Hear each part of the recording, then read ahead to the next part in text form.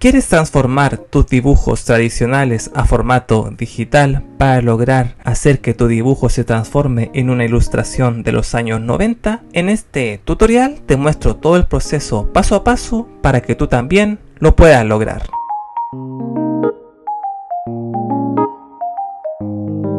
Lo primero que vamos a hacer es tomar una foto con nuestro teléfono y poder editarla de alguna forma, sin grandes complicaciones. Por ejemplo, acá lo que voy a hacer es con la misma aplicación que tiene mi teléfono, voy a editar la fotografía para dejarla lo más limpia posible. Vamos a Archivo, Nuevo, y vamos a elegir la tercera opción, la opción de cómics. El tamaño va a ser A4, 600 de resolución. Le ponemos el nombre a nuestro proyecto y le damos a OK y vamos a eliminar la capa que viene creada por defecto. Y vamos a guardar nuestro proyecto en la parte superior en el icono de guardar. Elegimos la carpeta y guardamos. Ahora vamos a ir al icono de Clip Studio y vamos a ir a cambiar al modo simple. Y acá está el modo simple, bastante sencillo. Acá tenemos la barra de herramientas, las capas y algunas otras opciones. Lo que vamos a hacer es mantener el icono de la imagen y vamos a agregar una imagen e importamos la fotografía que tomamos anteriormente de nuestro dibujo realizado de forma tradicional. Lo escalamos y le damos a OK. Y nos va a preguntar si queremos extraer las líneas, le decimos que sí. Y acá por ejemplo podemos ver los parámetros que tiene la densidad de la extracción de líneas. Yo por ejemplo voy a ir probando y me voy a quedar con el máximo porcentaje, que es lo que lo hace mejor la extracción de las líneas. Una vez tenemos esto, le damos a OK hemos extraído nuestras líneas. Ahora lo que vamos a hacer es volver a la interfaz de el modo estudio. Seleccionamos la capa de la línea y lo que vamos a hacer con doble clic es cambiarle el nombre y en las propiedades de la capa de color vamos a pasar a monocromo. Como pueden ver las líneas no se ven muy bien definidas, pero ahora tenemos que editar este parámetro. Por ejemplo, alfa podemos editarlo y como pueden ver la línea se ve mucho más definida, logrando un resultado realmente genial. Lo dejamos de esta forma y como pueden ver la línea se ve limpia y se ve muy bien definida. Con la herramienta plumilla vamos a ir mejorando aún más la línea. Como pueden ver, la zona de la nariz no me gusta mucho como lo hice originalmente en el dibujo tradicional, por lo cual vamos a ir editando la línea de la nariz y de otras zonas del dibujo para hacerlo aún mejor. Esto lo podemos hacer de una forma detallada o no, será como ustedes quieran. Seleccionamos la capa de la línea y con botón derecho la vamos a duplicar ocultamos la capa anterior, le cambiamos el nombre a esta nueva capa a línea vectorial, nuevamente con botón derecho, convertir capa y vamos a cambiarle el nombre y de capa rasterizado la transformamos a capa vectorial. Esperamos a que haga la acción y como pueden ver ya tenemos la línea de nuestro dibujo como una línea vectorial. Vamos a ir editando algunas zonas y como pueden ver acá podemos ir jugando con cada uno de los trazos de forma individual elegimos la opción corrección de línea y como pueden ver tenemos diferentes opciones las cuales nos van a ayudar a jugar con el grosor de la línea vectorial. Esto ayuda mucho a que nuestro dibujo se vea mucho mejor. Entonces podemos ir haciéndolo con cada una de las líneas según nosotros queramos para lograr un resultado mucho mejor. Vamos a ventana, subvista, activamos este panel y en el icono de importar seleccionamos el dibujo en el cual nos vamos a basar para ir seleccionando nuestros dibujos. También activamos la herramienta del gotero y creamos una nueva capa rasterizado por debajo de la capa de la línea llamada color base para comenzar a pintar. Para pintar nuestro dibujo vamos a seleccionar la herramienta relleno en subherramienta referir a otras capas. Y acá es muy importante en área de escala, dejarlo en 10 o en 5, según el tamaño del grosor de la línea de su dibujo. Entonces acá vamos a ir pintando con un solo clic las áreas de nuestra ilustración. Como pueden ver es bastante sencillo de hacer si vamos a ir tomando los colores que tenemos en la ventana subvista.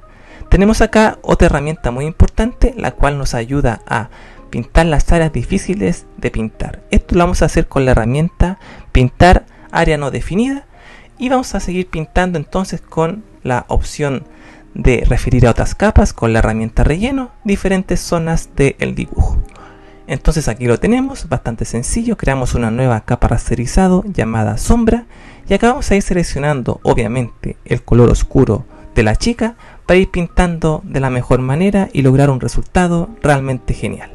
Ahora pintaremos las mejillas. Para ello vamos a crear una nueva capa rasterizado por sobre todas las capas de nuestro proyecto. Para así poder hacerlo de la mejor manera. Creamos la nueva capa rasterizado de nombre mejillas y acá lo que vamos a utilizar es la herramienta aerógrafo, sin antes seleccionar los colores de la chica para hacerlo de la mejor manera. Recuerden, es la herramienta aerógrafo. Vamos a ocultar la capa de la sombra, seleccionamos la capa vectorial y la establecemos como capa de referencia. Seleccionamos la capa base, vamos a edición, sombreado automático. Y lo que vamos a hacer acá es utilizar una de las nuevas herramientas de Clip Studio Paint que como pueden ver tiene diferentes opciones según lo que necesite nuestra ilustración. Acá se los muestro rápidamente pero voy a seleccionar la opción estándar. Es solo para mostrarles que existe esta opción. Como pueden ver podemos ir editándolo, le damos a OK y automáticamente nos crea diferentes capas las cuales sin duda podemos editar si así lo queremos.